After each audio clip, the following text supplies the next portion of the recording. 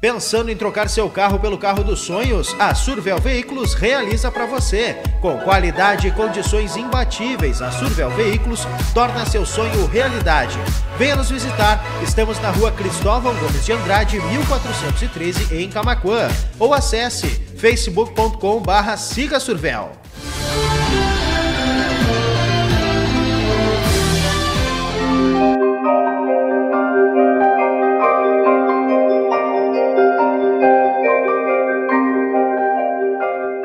Estamos aqui hoje no loteamento Tejada, aqui na rua Cairo. Nós recebemos por meio de, de da nossa audiência aqui da Lagoa TV um, um, pedido de ajuda, né? Para divulgar a história dessa senhora aqui, da Dona Maria.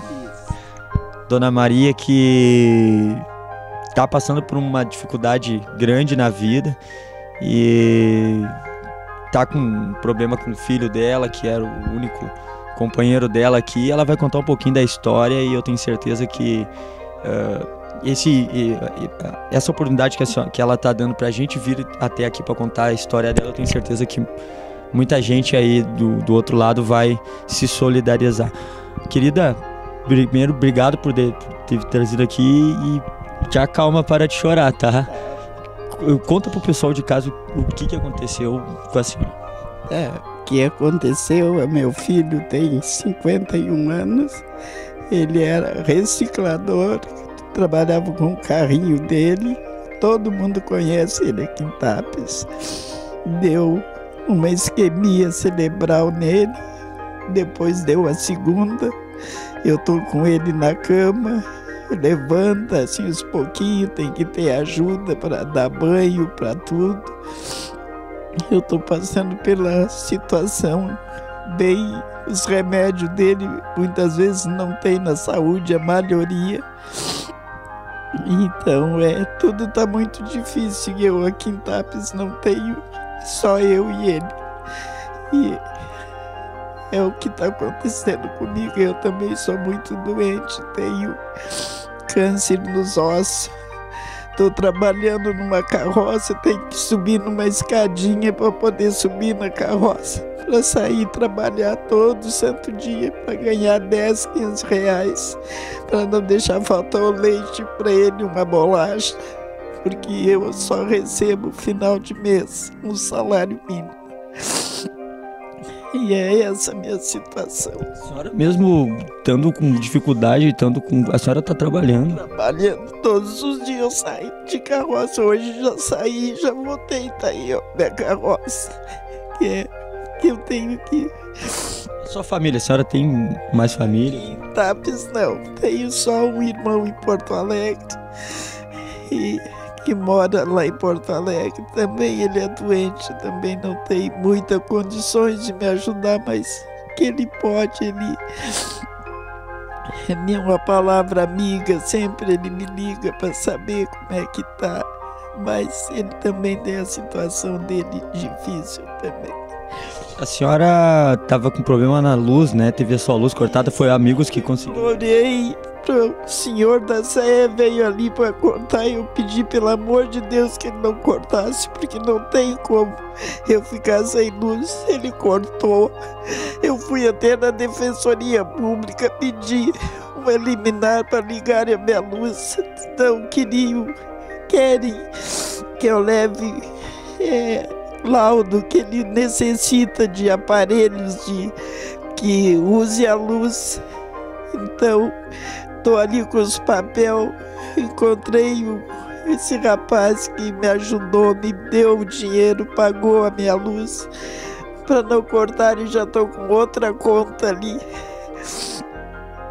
E aí não adianta a gente explicar. Meu filho ficou assim por falta de remédio. Ele começou vomitando, vomitando, se queixando de uma tontura.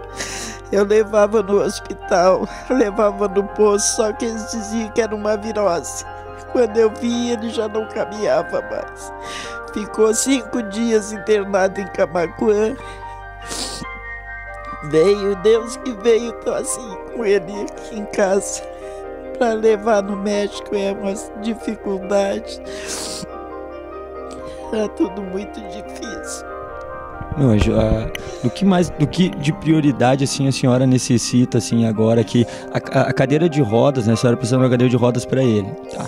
A senhora também uh... conseguiram uma no, lá na saúde, mas está rasgando já embaixo, né? Mas é o que eu tenho para botar ele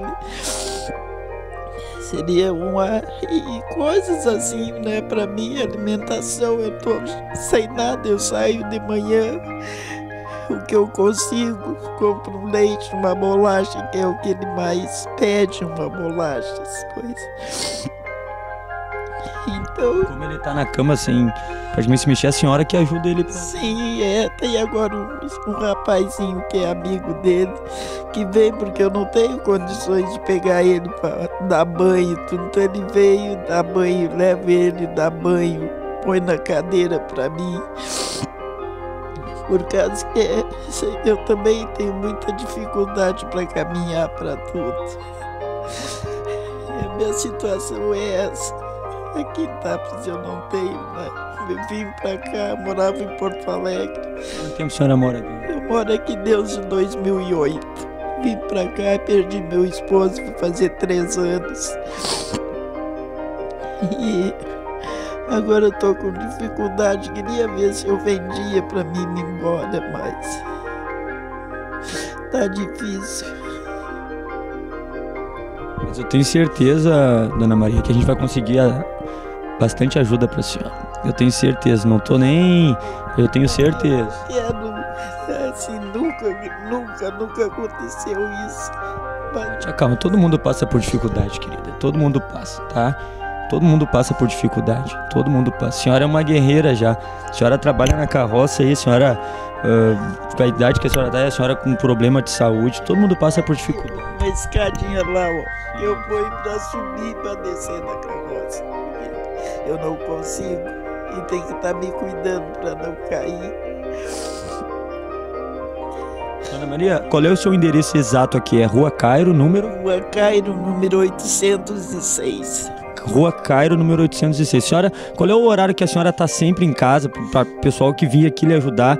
Uh, não, não, que de repente não lhe acha. Qual é o horário que é, é certo que a senhora está em casa? É meio-dia, sempre eu estou em casa. De tardezinha também, né? Porque eu venho, tenho ele tomar remédio nos horários, né? Então eu tenho que vir às vezes para também, porque tem dia que eu tenho que deixar ele sair, ele fica. Então eu trabalho um pouco e venho olhar como é que ele está. Porque a gente, quando eu pego é, lixo eu tenho que largar lá na, no lixo, na, na, dependendo da reciclagem. Então eu passo. A senhora segue fazendo o trabalho que ele fazia? Sim, é. Só que ele trabalhava com carrinho, aqueles de puxar. Né? E aí eu consegui essa carrocinha. E aí é como eu trabalho é com ela.